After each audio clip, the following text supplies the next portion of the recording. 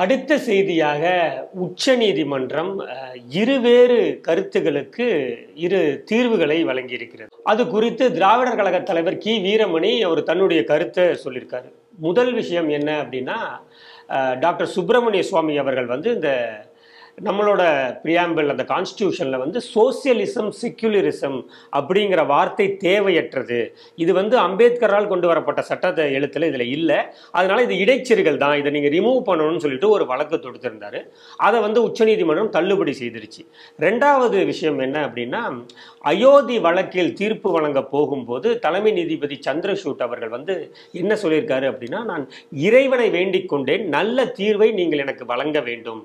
அப்படின்னு சொல்லிட்டு தான் தீர்ப்பு எழுத போகிறதுக்கு முன்னாடி போனதாகவும் அதன் பிறகு இந்த தீர்ப்பு கொடுத்துருக்கிறதாகவும் இப்போ சமீபத்தில் அவர் சொல்லியிருக்காரு.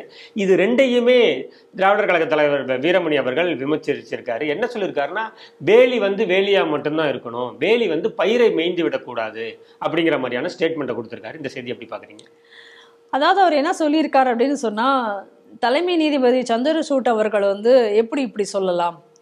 அப்ப இந்த அருள்வாக்கு மாதிரி அவர் பேசியிருக்கிறார். அதை அப்ப அருள்வாக்கு தருகிறார்? அவர் நீதிபதியா? நீங்க நீதிமன்றம் வேணா அருள்வாக்கு மன்றமாகி விட்டதா அப்படின்னு நிறைய விமர்சனங்களை இவங்க வைத்திருக்கிறார்கள். நான் அதையெல்லாம் பார்த்தேன். ஆனா அவர் ரொம்ப தெளிவா அவர் சொல்லியிருக்காரு ஒரே ஒரு விஷயம்.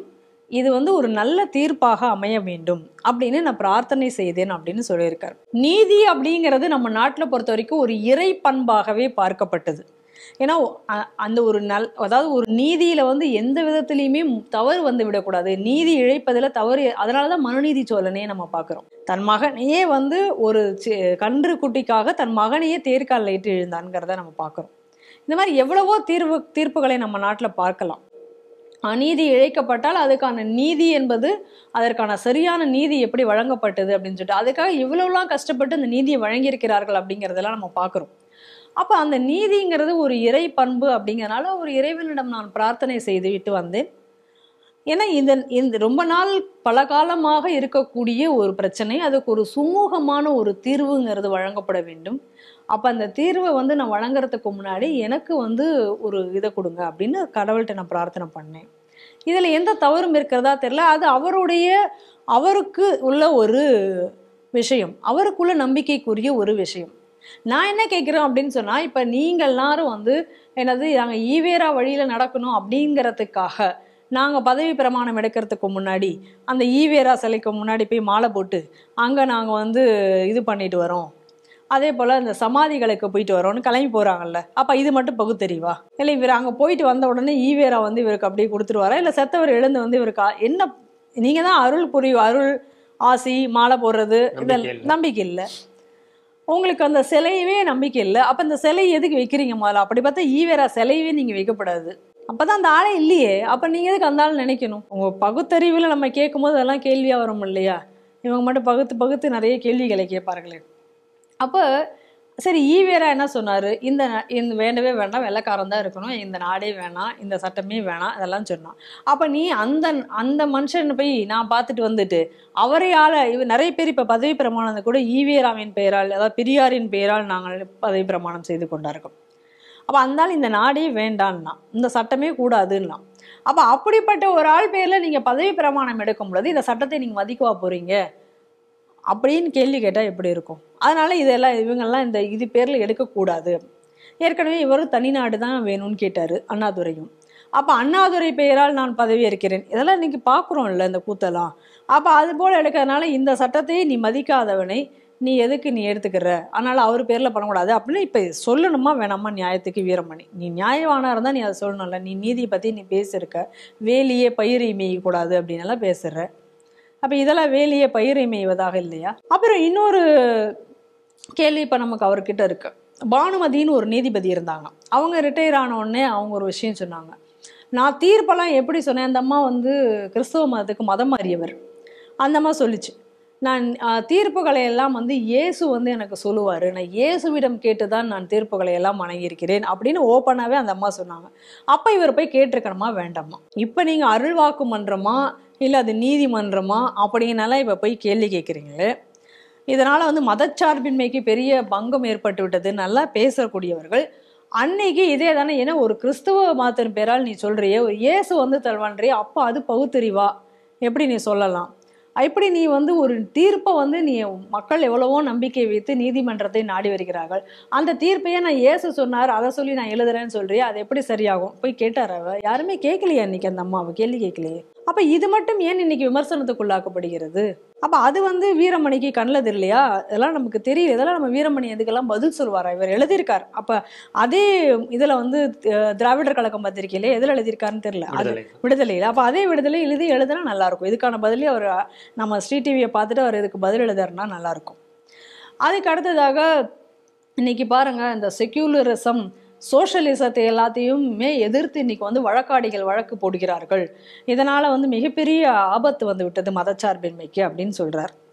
அப்படின்னு சொன்னா இப்ப நம்ம கேள்வி என்ன அப்படின்னா இந்த சோஷலிசம் அப்புறம் செக்யூலரிசம் அப்படிங்கிறத ப்ரீ ஆம்பிள்ல எப்ப சேர்த்தாங்க? அப்போ பார்லிமெண்ட்னு ஒன்று கிடையவே கிடையாது எதிர்க்கட்சியே கிடையாது. டியூரிங் எமர்ஜென்சி ஆமா அந்த டயத்தில் நீங்க பாட்டுக்கு சேர்த்துருக்கீங்க. அப்ப அது அம்பேத்கருக்கு எதிரானது இல்லையா? அம்பேத்கருக்கு அப்ப இது நியாயமா இது எதிரானதானே அம்பேத்கர் அதுல சொல்லலையே. அவரோட பிரியாம்பல் அது கிடையவே கிடையாது. அப்புறம் தானே இவங்க கொண்டு வராங்க. அப்ப ஒரு ஜனநாயக நாட்டுல ஒரு ஜனநாயகம் இல்லாத பொழுது ஜனநாயக ஆட்சி இல்லாத பொழுது ஒரு விஷயம் சேர்க்கப்பட்டது. வலுக்கட்டாயமாக சேர்க்கப்பட்டிருக்கிறது. வலுக்கட்டாயமாக சேர்க்கப்பட்டிருக்கிறது வந்து ஜனநாயக விரோதம் கிடையாதா? அப்ப நம்ம அந்த கேள்வி அடுத்து வருது இல்ல அப்ப அதுக்கு அவர் பதில் சொல்ல தயாரா இருக்கணும்ல. அப்ப அம்பேத்கருக்குமே விரோதமானதானே இதுல வேற அவர் விளக்கம் கொடுக்கிறார். அம்பேத்கர் வந்து செக்யூலரிச தன்மையோட தான் அவர் எழுதியிருக்காராம். இவராக சொல்லிக்கிறார் அவர் சொன்னார் அம்பேத்கர் நீ விடுதலை அடைஞ்ச உடனே பாகிஸ்தானும் பிரிக்கப்பட்ட உடனே இருக்கிற துலுக்கணையெல்லாம் அங்கே அனுப்பிச்சு விட்டுருடா அப்படின்னாரு.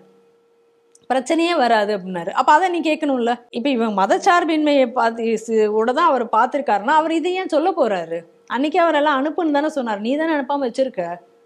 அப்படி அடுத்த கேள்வி வருது இல்லை. அதுக்கப்புறம் என்ன சொல்கிறாரு சிறுபான்மையினர் அதாவது ஒரு மதத்தை சார்ந்த ஒரு நாடு அப்படின்னு சொல்லி ஆச்சு அப்படின்னு சொன்னா அங்குள்ள சிறுபான்மையினர்கள் எவ்வளவு கஷ்டப்படுகிறார்கள் என்பது நம்ம அறிந்ததே அப்படிங்கிறார். அப்ப அவர் ஒத்துக்கிறாரா? இந்த மாதிரி இந்து மதம் மற்ற இடங்களில் எல்லாத்திலும் இந்துக்கள் பாதிக்கப்படுகிறார்கள் என்பதை அவர் ஒத்துக்கிறாரா?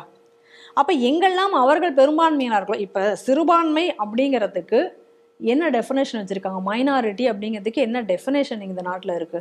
ஏதாவது ஒரு டெஃபினேஷன் இருக்கா இந்த நாட்டுல? இது வரைக்கும் எதுவுமே கிடையாது. அப்போ அந்த மாதிரி ஒரு டெஃபினேஷனே இல்லாத ஒரு கட்டத்தில் எதற்காக வந்து செக்குலரிசம் அப்படிங்கிறதெல்லாம் இருக்கணும் இங்கே? அந்த சோசியலிசமாக இந்த நாடு இருக்கலையே என்னைக்குமே. எதுக்கு சோசியலிசம்ங்கிறது இருக்கணும்? தேவையே கிடையாது. அதனால இதெல்லாம் வந்து வேணும் என்று இவர் வந்து இதை நியாயப்படுத்துவதற்காக இது இதை எந்த விதத்திலும் இவரால் நியாயப்படுத்த முடியாது. இப்போ எப்படி இவங்க எல்லாத்துக்கும் ஸ்டிக்கர் ஒட்டுறாங்களோ அதே போல் ஏதோ அம்பேத்கரே சொல்லியிருக்காருன்னு ஒரு கதையை வந்து இப்போ இதோட வந்து இவர் சேர்த்து வச்சிருக்காங்க. க- திமுக இவங்க காங்கிரஸ் இவங்களுக்கெல்லாம் வந்து ஒரு பெரிய ஒரு வித்தியாசம் அப்படிங்கிறது கிடையாது. இவங்களை பொறுத்த வரைக்கும் என்ன அப்படின்னு சொன்னால் அந்த செக்யூலரிசம் அப்படிங்கக்கூடிய பேரில் இந்த நாட்டில் வந்து ஒரு மதத்தை அடிப்படையாக வைத்துக்கொண்டு அரசியல் செய்து கொண்டிருப்பது தான் இவர்களுடைய வேலை. அதை தான் இன்னைக்கு வந்து இவங்க அதை செஞ்சிட்ருக்காங்க. அதே நேரத்தில் எந்த ஒரு ஹிந்து மதம் விஷயங்கள் சார்ந்த விஷயங்கள் வரும் பொழுதும் அதை வந்து எதிர்க்க வேண்டும் அப்படிங்கக்கூடிய இந்த ரெண்டு கொள்கையை தவிர இவர்களுக்கு வேறு ஒன்றும் கிடையாது. இன்னும் சொல்ல போனால் இன்னைக்கு இவங்கெல்லாம் எப்படி இது எதுவுமே இவங்களுடைய ப்ராடக்ட் எதுவுமே கிடையாது. இவங்க பேசுகிற பேச்சு இது எதுவுமே இவங்களோடது கிடையாது. இதுவும் காப்பீடிக்கப்பட்டது தான் ஏன்னா என்ன இன்னைக்கு வந்து ஜேஎன்யூ வந்து அங்கேருந்து எல்லாத்தையும் அள்ளி தெளிக்கிறாங்களோ அங்கே ஜேஎன்யூவில் இருக்கக்கூடிய ப்ரொஃபஸர்ஸும் இவங்களுடைய லெஃப்டஸ்ட்டு லிபரல்ஸு அங்கே இருக்கக்கூடியவங்க என்ன எழுதி அனுப்புகிறாங்களோ அதை வந்து இந்த வாங்கி அந்த போஸ்ட்மேன் மாதிரி வாங்கி இங்கே அவங்க போஸ்டர் ஓட்டுறது ஸ்டிக்கர் அடிக்கிறது தான் இவங்களுடைய வேலையாக இவர்கள் செய்து கொண்டிருக்கிறார்கள். அதனால் வீரமணியினுடைய ஸ்டேட்மெண்ட் வந்து இப்படி தான் இருக்குமே தவிர வேறு மாதிரி இருக்கிறதுக்கான வாய்ப்பு இல்லை.